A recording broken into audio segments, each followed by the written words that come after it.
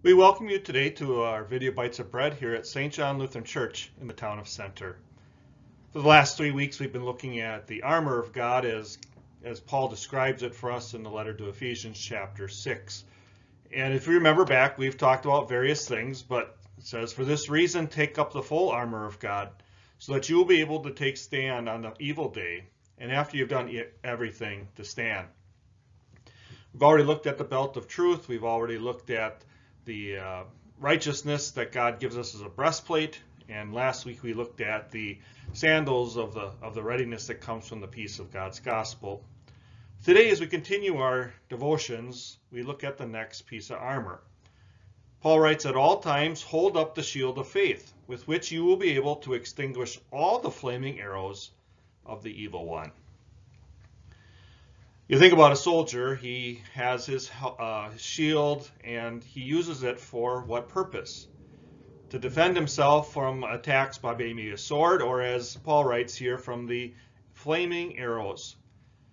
And you don't think about that much in our battles today because we don't do that, but you think about a shield. It, it was that protection and, and, and those arrows, they would come from a distance and you held that line of shields over your head to protect yourself from those arrows.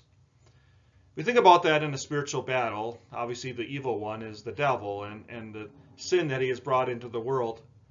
And God tells us that we have this shield of faith. And, and what is faith?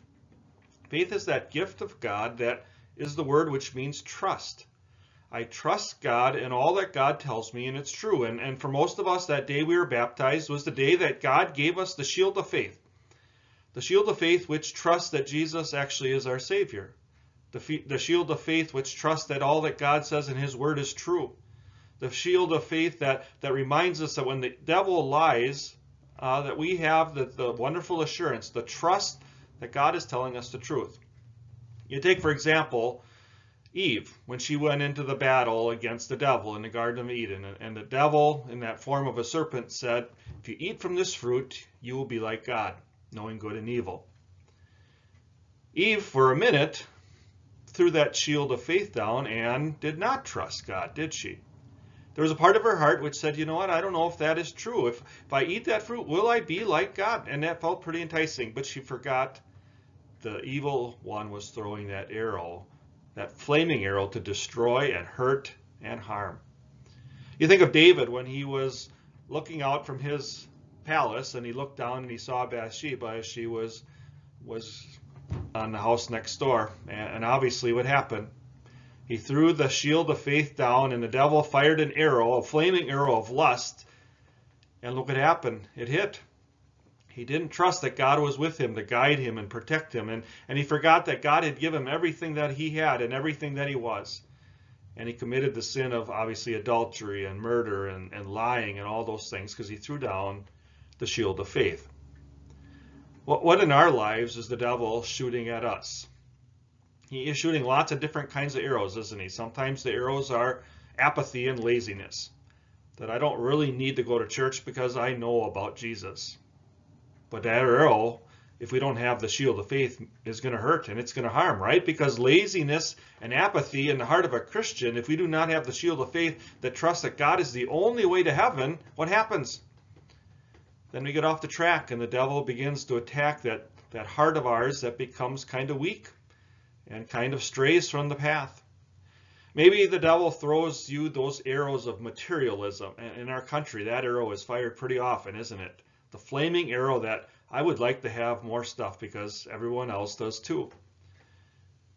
What does the shield of faith do? It tells me I don't need I don't need more possessions. I have Jesus, and that's the only wealth that counts. And if I seek first His kingdom, then all God, all those other things God will give to me. But if we throw that shield of faith down, boy, that arrow of materialism hits hard, doesn't it? And it burns, and it leads us into eternal destruction sometimes. As we think of this battle and we think of our lives as Christians, probably the one the devil uses the most is that the Bible is not true or at least not the whole Bible is true? Or how can you believe that this Bible, which is 2,000 plus years old, actually is a book given from God? Or because it was written by men and it, it obviously was corrupt and, and there are problems. Again, that is a flaming arrow and there are lots of them and the devil fires them off each and every time he wants to get us off the track. And, and if we hold up the shield of faith, what does faith say? The Bible's true. God told me it's true. He tells me all scripture is God breathed. And he tells me that it is useful for teaching and rebuking and correcting. And he tells me that I can use this Bible to make me wise for salvation. But if we throw down that shield of faith and that trust in God, what, what does that arrow do? It creates doubt. The evil one gets gets a little foot in the door that I sometimes question God, or or does God really say this is wrong, or does God really not like this sin, or can I do this and not be a sin? And we forget I need the shield of faith. So we go out into battle. We have the belt of truth. What a joy, the truth of God's word. We have that breastplate of righteousness, which tells us God did all the work, and those feet that are ready to go into battle with the gospel of peace. But today, may we find peace and strength and joy as we go into battle with that shield of faith that helps us against all the attacks, the flaming arrows of the evil one, the devil. We, we are strong and we can say no to the devil. We, we are not perfect. That's why God's forgiveness is the answer. That's why we need the gospel of peace. But what a joy it is to go into battle with that shield of God's wonderful faith, worked in our heart as a gift, that we're saved by grace alone, through faith, not by works, so that no one can boast. Let's bow our heads and pray.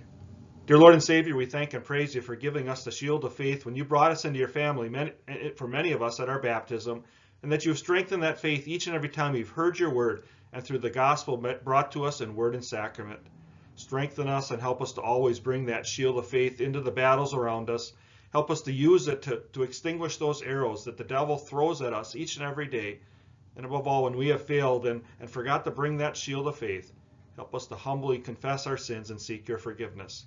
And with that shield of faith, trust that all our sins have been forgiven. We ask all this in your name. Amen. God's blessings as you go into battle, strengthened and encouraged, holding that shield of faith as you seek to extinguish the arrows of the evil one. God's blessings to you this coming week.